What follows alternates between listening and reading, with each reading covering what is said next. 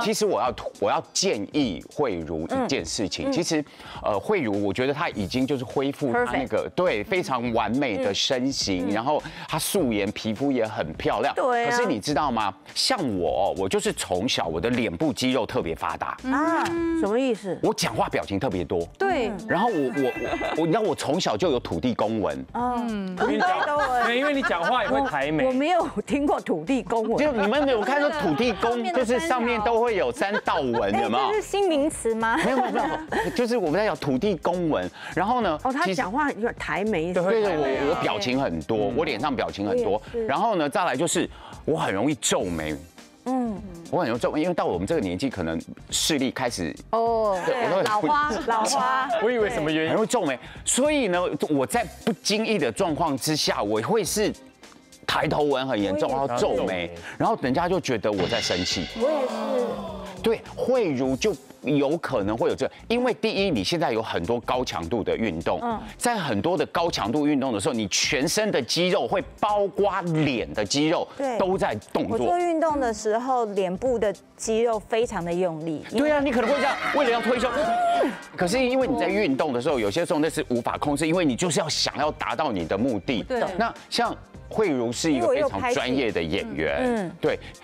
有些时候你很多这个表情啊，对，是很需要的。对是很需要的。可是因为太多的表情，也可能就跟我一样，我平常讲话很多表情，越多表情越常动的，你就越容易有纹路。有有有有，这几年我发觉我的那个 纹路土地公纹，你看现在也有一点点，就是有越来越明显。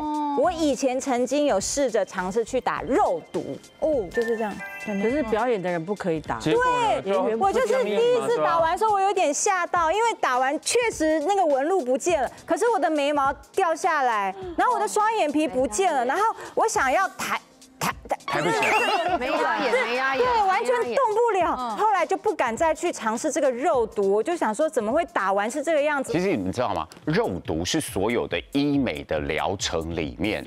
大家接受度最广，而且是入门的。嗯，也就是说，当我发现我脸上有一些细纹的产生，大家通常第一时间都用肉毒来解决。可是，呃，我自己的经验啊，我以前有打过一次肉毒，但我打完之后，我只有嘴巴会动，我那时候就吓到了，所以我大概有五六年的时间，我完全不敢碰肉毒。最近看到了一位好莱坞明星叫 Gwyneth Paltrow，哦，就是钢铁人里面的小辣椒。小辣椒，因为她是一个崇尚自然生活的一个女星，我发现她介绍的这个东西之后，我就去问我的医师，我就去问我的医师，他说那一个是属于叫做纯净的肉毒。嗯，以前的肉毒它的制作的技术就是肉毒会包裹住外面，它会有一个这个复合性蛋白。那我们打肉毒进入到我们的皮肤的时候，它会快速的扩散。嗯嗯，所以，如果你的医师的剂量没有打好的话，它就会快速的大幅度面积的扩散，哦所以导致你会会压眉。压眉，嗯，或者是有人打鱼尾纹，一打之后反而法令纹变得很严重，因为它这一块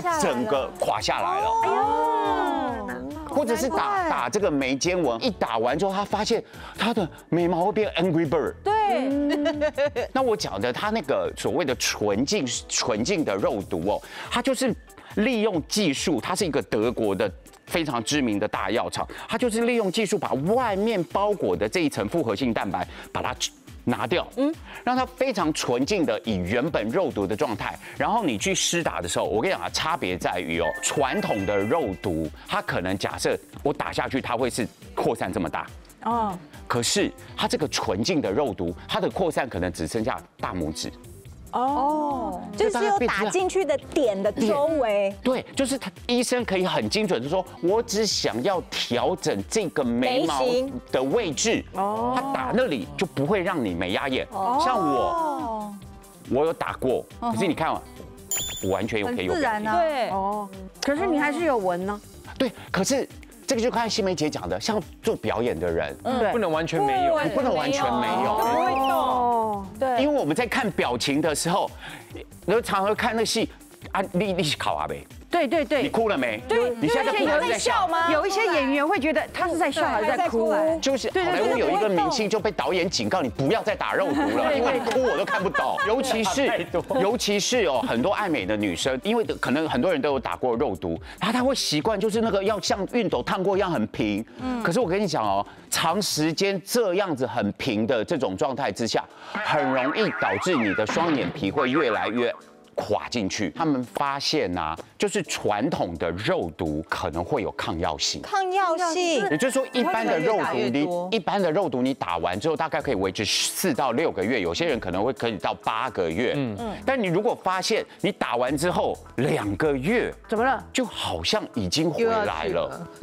身体习惯了吗？对，这个就是抗药性，因为这一个复合性蛋白，它会形成我们人体的免疫去攻击它，去产生抗体。嗯去哪里买纯净肉毒？没有，就是在诊所，你去医美诊所的时候不能打吧。它的全名就是这样子，叫你你就跟他讲纯净的肉毒，然后它的差别在于，它必须要打针的位置比较多。哦，因为它一次的差很多它是很对细微，像像我的额头，我以就前打几针？打以前的肉毒，我打六针就可以了。那现在现在我可能要打十二到十五针，哦，所以它范围变细。对它多点开花啦，要这样慢慢它就是慢慢的、很精准的去打，它就是慢慢的、很精准的去打。像我讲到抗药性这一点，有什么可以证明？你知道吗？韩国可以说是医美大国，对不对？嗯。他们的韩国的食药署，他们之前曾经发表了一则通告，就是说肉毒会有抗药性。请医师与消费者要注意，医师一定要为消费者做严格的把关，不要消费者要打你就让他打。